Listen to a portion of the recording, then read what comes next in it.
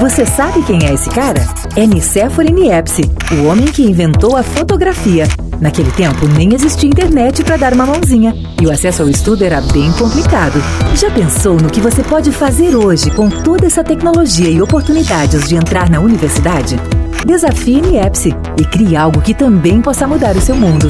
Vestibular Unicruz. O seu tempo é agora.